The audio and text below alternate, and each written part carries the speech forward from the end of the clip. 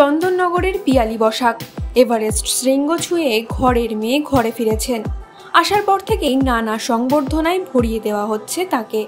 কিন্তু কেন এখনও পেলেন না শৃঙ্গ জয়ের সার্টিফিকেট? জানালেন পিয়ালি।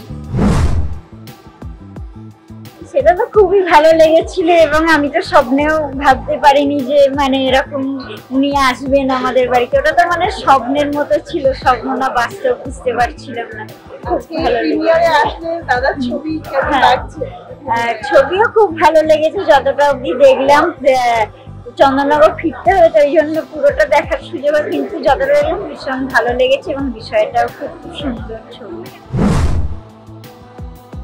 এইটা তো আমার স্বপ্ন ছিল এই ছ বছর বয়স থেকে এবং আমি যেটা এবারে করেছি মানে আমাদের দেশের স্বাধীনতা সংগ্রামের যারা বিপ্লবী তো তাদের শ্রদ্ধা জানিয়ে আমি অভিযানটা করেছিলাম এবং আমাদের আমি তো চন্দননগরে থাকি, আমাদের চন্দননগরে যে রাসবিহারী বসু উনি প্রথম আজাদিন ফৌজ যেটা নেতাজি সুভাষচন্দ্র বসু নেতৃত্ব দিয়েছিলেন সেই আজাদিন ফৌজ রাসবিহারী বসু তৈরি করেছিলেন এবং এভারেস্টের প্রথম উচ্চতা মেপেছিলেন শ্রদ্ধেয় রাধানাথ সিকদার উনিও চন্দননগরের মানুষ এবং রাধানাথ সিকদারও একজন নিজে বিপ্লবী ছিলেন ইংরেজদের আহ, অত্যাচারের প্রতিবাদ করেছিলেন।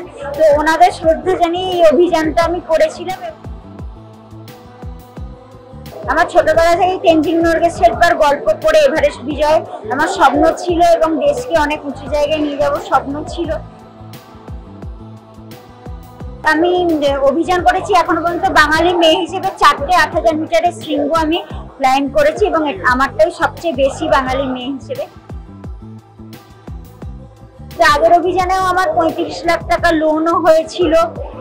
বাবা, মা, বোন, আমার সবার নামে আর কি ব্যক্তিগত লোন যে কারণে এবারের অভিযানে আমার খুবই অসুবিধা হচ্ছিল এবং অভিযান ক্যান্সেল হওয়ার মতনই অবস্থা ছিল।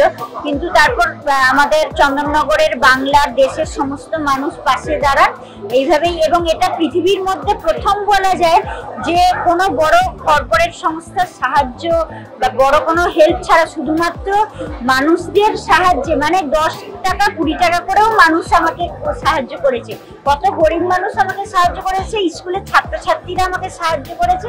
মানে এটাও একটা বিশাল যুদ্ধ হ্যাঁ আমার মোট একচল্লিশ লাখ টাকা দরকার ছিল এভারেস্ট এবং লোটসে আহ, লোটসে হচ্ছে চতুর্থ উচ্চতম শৃঙ্গ দুটো অভিযানের জন্য। তো এখন আমার সাত লাখ টাকা বাকি আছে। ওই কারণে আমার সার্টিফিকেটটা একটু পেতে অসুবিধা হচ্ছে। কারণ পারমিশনটা এবং নেপালের এজেন্সিও আমাকে হেল্প করে পায়োনিয়ার অ্যাডভেঞ্চার এজেন্সি কারণ যে টাকাটা আমার পারমিশনের জন্য আটকা ছিল, ওটা এজেন্সি হেল্প করে আমার অভিযানটা যাতে না ক্যান্সেল হয়ে যায় পারমিশনটা ওনারা বার করে দেন। কিন্তু ওনারা বলেছেন পুরো টাকাটা যতক্ষণ না দিচ্ছি সার্টিফিকেটটা সার্টিফিকেট আমার হয়ে গেছে, সবই কমপ্লিট কিন্তু এই টাকাটা বাকির জন্য ওনারা